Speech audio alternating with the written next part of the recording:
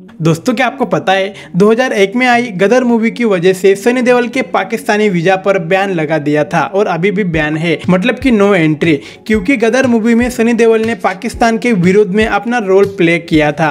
दरअसल दोस्तों, गदर मूवी में सनी देओल ने एक ट्रक ड्राइवर, यानी कि तारा सिंह का किरदार निभाया था। और एक दिन भारत से आने जाने के दौरान तारा सिंह को एक पाकिस्तानी लड़की, यानी कि सकीना से प्यार हो जाता है।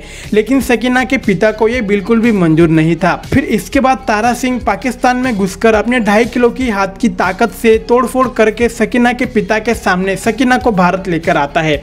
दोस्तों, सच में मुझे बोलते बोलते गुजबम्स आ गए। और दोस्तों, गदर मूवी में सनी देवल ने पाकिस्तान के विरोध में भयंकर डायलॉगबाजी की थी और पूरे थिएटर में आग लगा दी थी। और गदर मूवी के बाद सनी देवल के साथ और उनकी फ़िल्मों को भी पाकिस्तान में हमेशा के लिए बैन कर दिया गया था और अभी भी बैन लगा हुआ है। और इसके अलावा पाकिस्तान के सरकार ने सनी देवल के वीज़ा पर आजीवन प्रतिबंध लगा दिया।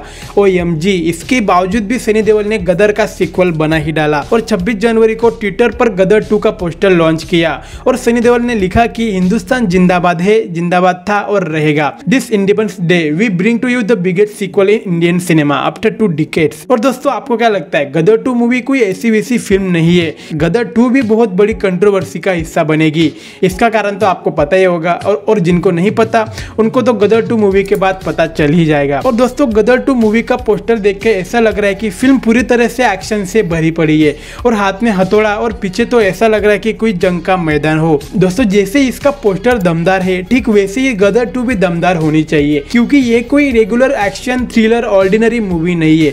ये मूवी इंडिया की एक इमेज है। एक हिंदुस्तानी कैसा होता है, एक गदर टू में दिखाया गया है। तो दोस्तों, ये कोई मोटिवेशनल लाइन नहीं है, पर दोस्तों ये गदर टू में ये होना ज़रूरी है।